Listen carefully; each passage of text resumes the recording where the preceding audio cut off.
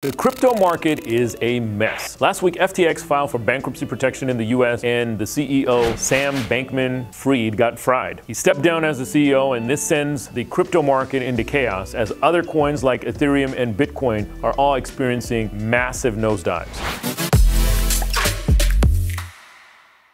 Over the past few days, there has been a buzz on YouTube itself, especially on the financial side. With over 2 million subscribers, big names like Andrei Jikh and Graham Stephan even had a video apologizing for promoting FTX. Just a little background on FTX. It is one of the top, or I should say one, it was one of the top cryptocurrency exchanges that specialize in derivatives and leverage products. One of its perks is that FTX offered a unique affiliate link, and when new users signed up through that affiliate link, the referring user earned 25 to 40% of the new user's fees, depending on the amount of the FTT held. By promoting FTX, you get to earn a few hundred or even a few thousand dollars. And now with the FTX collapse, these people have lost thousands of dollars and millions for others. Even if the FTX liquidates all of its assets, these investors will be at the bottom of the list for payouts. This is because they are considered unsecured creditors. After paying all of those secured creditors, it would be forced fortunate if something was left over. But given that FTX's current financial state and insolvency level, I highly doubt it. I'm not blaming these YouTubers or anything like that. After all, subscribers are capable of thinking for themselves. It is the subscriber's decision to click the link and sign up. However, considering that you have millions of subscribers trusting you and heeding your financial advice, it is imperative that we as YouTubers do our own due diligence. I have made it a point in all of my videos, especially regarding financial literacy, that while it is good to model your strategy to those that have already succeeded and follow in the footsteps of those who are financially successful as individuals. Don't just follow blindly. Just because I told you that this is the strategy that works since it's worked for me, go ahead and do it without hesitation. You should hesitate. Do your research, experiment, and see what works for you. This is especially true when it comes to investing. When someone says you should buy FTT, they're a good investment. They have a great track record, and the company that owns them is very stable with a lot of growth potential. You go ahead and click and sign up without even checking if the statement is true you're doing yourself a disservice. Remember, there is no such thing as a get rich quick scheme. Many of the internet users are going to YouTube hoping for a quick solution to their problems and expecting that YouTubers did their research for them and that they put a lot of work into their content and so their audience doesn't need to do the research themselves. Well, some YouTubers are passionate about their content and genuinely wish for their audience to learn and enjoy. But I want you to remember that are only here for the viewers and the likes. Now remember, I've long warned against Bitcoin and cryptocurrency and I've always said make it one of your spokes in your investment wheel, but don't put all of your eggs in that one basket. That's all for today's video. Thank you so much for watching. And if you want to learn more about cryptocurrency in detail, check out this video next. Five ways to start investing in cryptocurrency. Next.